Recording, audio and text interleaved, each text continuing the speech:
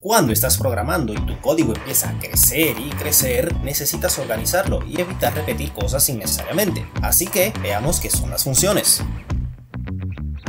Una función es como un experto al que le entregas unos materiales o le llamas y te hace algún trabajo, pero un ejemplo más cercano lo tenemos, sí, en las matemáticas. Así como en las matemáticas podemos encontrarnos funciones que son algo como esto, en donde debes reemplazar lo que hay en los paréntesis cada vez que encuentres la variable que le toca, lo mismo es en la programación. Mira esta función, pueden ver que aquí se tienen que sumar dos números y retornar o sacar el resultado. Pues bien, cada vez que llame a mi experto en sumar, intentará calcular esto y me dará el resultado sea cual sea. Ahora, si simple vista parece que hice más código del necesario para lo que es una simple suma, dirán. Y eso no ayuda mucho ni a organizar ni a evitar repeticiones. Pero, ¿qué tal si quisiera calcular el sueldo a pagar en un año a un empleado, restar los días que no trabajó, calcular las utilidades, asignarle un incentivo navideño en base a todo eso y ejecutarlo usando una única línea de código cada vez que quiera? ¿Lo ven?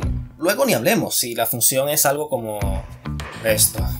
Ahora déjame un like si te gustó y mira ya mismo el próximo video del diccionario que te lo dejo aquí. Pero también suscríbete por acá para enterarte primero de cualquier novedad del canal. Nos vemos.